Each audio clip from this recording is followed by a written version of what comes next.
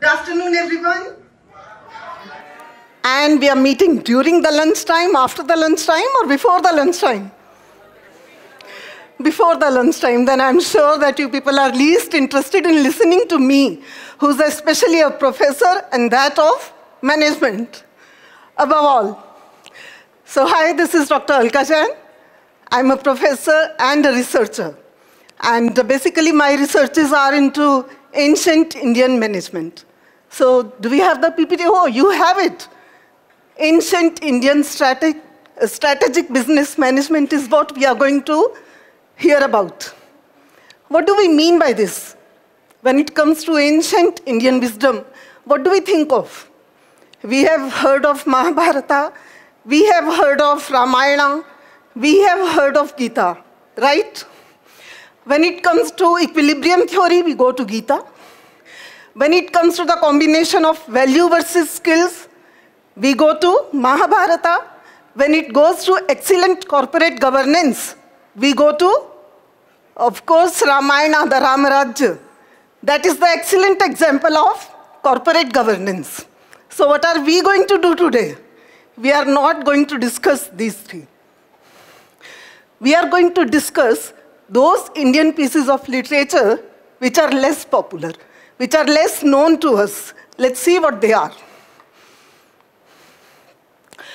This is what we teach in the classes, and this is what you learn in the classes, right? You must remember these kinds of slides which are shown to you by your professors. What does it say? Oh, it talks about strategic management, and we are trying to find the origin. This can be retraced to 1911. We are talking about the origin of strategic management, right?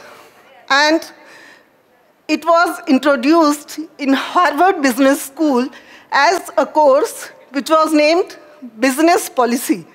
And trust me, the outcome of this course was nothing but to just enhance your managerial capabilities, as the last line says. This is coming from your familiar book, right? Second sample. This is talking about the evolution. How did this concept develop in the world. Four phases, 930, ad hoc policy making. 1940, functional areas and environment. These two are coming closer to each other. Third phase, now the concept of business, the whole business, and the changes in the environment, a relationship is being established, right? The fourth, the current phase, that means after 1980, there is no development in our strategic thinking. This is what this source says. This is the matrix that everyone or every student at least knows about. This is SWOT matrix given by Albert Humphrey and he gave it to us in 1960. What does this matrix say? This matrix talks about four things. Strength, S, W, weaknesses. O, opportunities.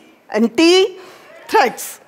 Everybody knows which are the internal parts, strengths and weaknesses.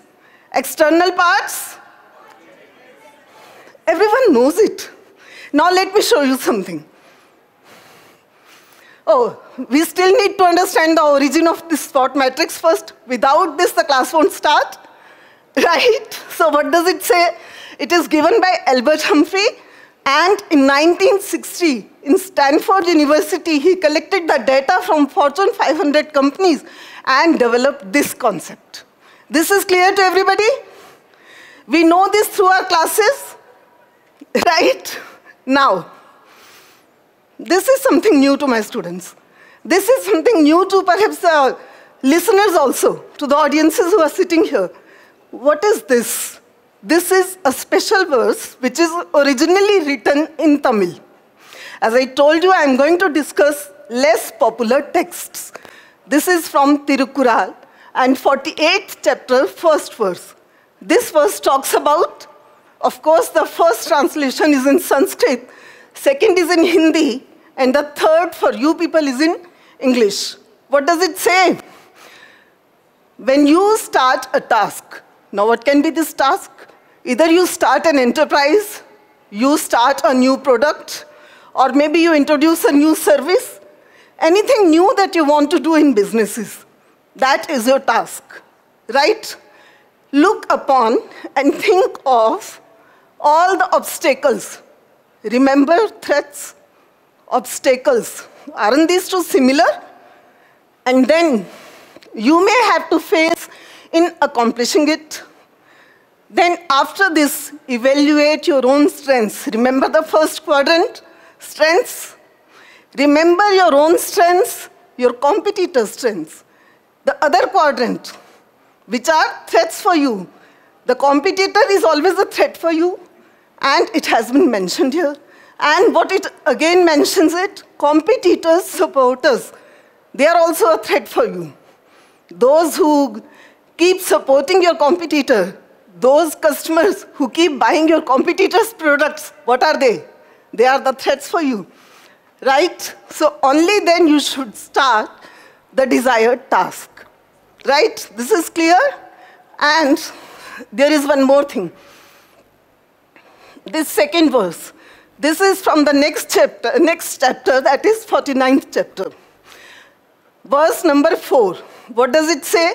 Again, I'm coming to English translation. I'm skipping the Sanskrit and Hindi translation. And if you know Tamil, you can go to the original version, right? It says, if you select, if you select proper resources, it talks about your resources. It also talks about the opportunities. Opportunities from the external environment, resources inside and also your competitors' resources. So they stand for both the internal as well as external environment. Right? This is what we are going to understand. I hope these two verses are clear to my students now and to the listeners who are sitting here with me. Now, what is the result from these two verses? What do we get?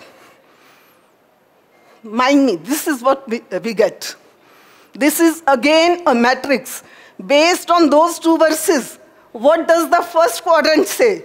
Shaktim swasya nijvirya. Let me translate it into English for you. This is my own strength, my own energy as a person, as an organization, right? Vetsi sadhanani, this means my resources. If they are enough, if they are ample, then of course this is my strength. Second quadrant, if my strength is less, if my energy is less, if my resources are less, I am weak. Standing in the second quadrant, right? Then third, remember that third quadrant of opportunity? Remember that? Translate opportunity to Hindi and you get this term, avasaram. And it is written suavasaram. So what does it mean? Strength of your competitor, if it is less than you, and the opportunity. These two together, they become the opportunity quadrant for you. Right? Now come to the last quadrant. This has three components. Shaktim Parasya, your competitor strength. Right? Sadhichas Tadbalam, strength of the supporters of the competitor. And then Vigna means obstacles. All these are threats for you. So we see that uh, we have received a matrix from these two verses. Let's try to compare them now. This is the comparison. Can you see the similarity between the two matrices now? And mind you, first is a recent one, given in 1960, and the other, for that, of course, I'm using two colors, the black one, Let's see what is the origin of this matrix. This is the origin. And this book, Tirukkural, this was written by a saint.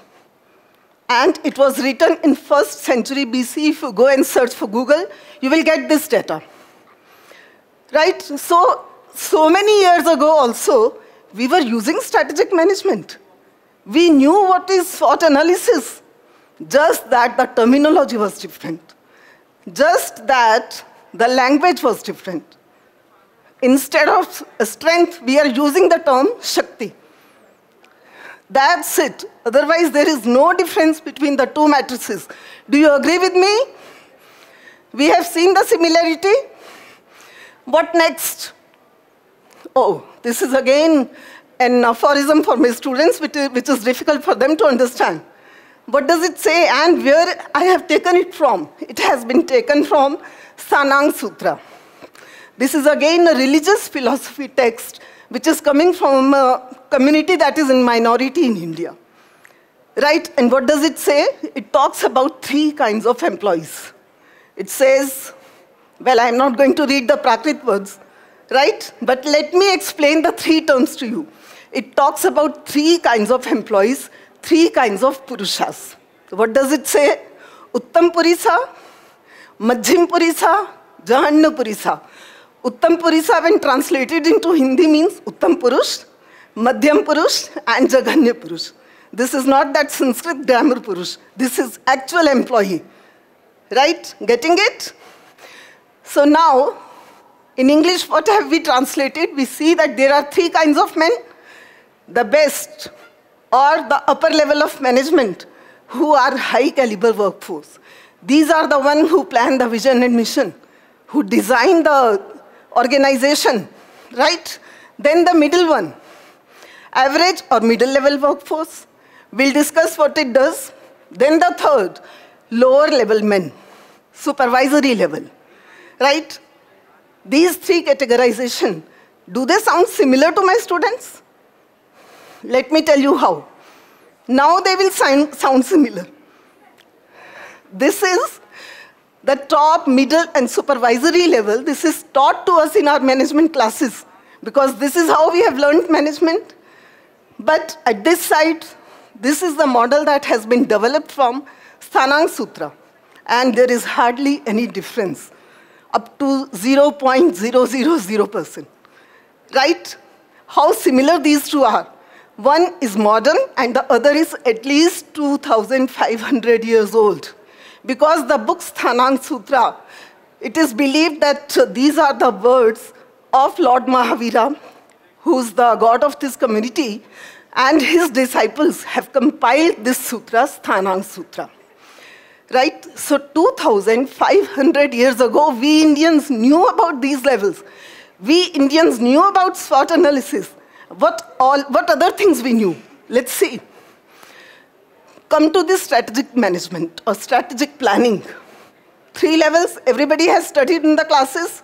Whoever is sitting here, corporate strategic planning. What does it mean? The top level, right? The high valued people should be there. And these are the people who are going to design everything for the organization. Then middle level is business strategic planning. For the middle level who are going to make the policies, how to meet the vision and mission. And then third is operational strategic planning. The supervisory level, who are actually implementing. These are the people who are actually working. Let's see if similar things are there with us in our ancient Indian wisdom. Oh, surprisingly, these are also there. See what has been given to us. Uttam, Madhyam, and Jaganya Purush we have seen. Now, if you go to three more aphorisms of Sthanang Sutra, you can get this model. And what does this model say? This says, as Uttam Purush, as top management, there are three types of people. Dharma Purush, the one who actually gives you the vision, the one who actually gives you the mission. Bhog Purush, these are the desirous people, desirous for profits, desirous for the goal achievement, right? Then third, Kam Purush. These are the people who actually work for the company. These three are le the levels of the first Uttam Purush. Come to the middle level now. What do we see here?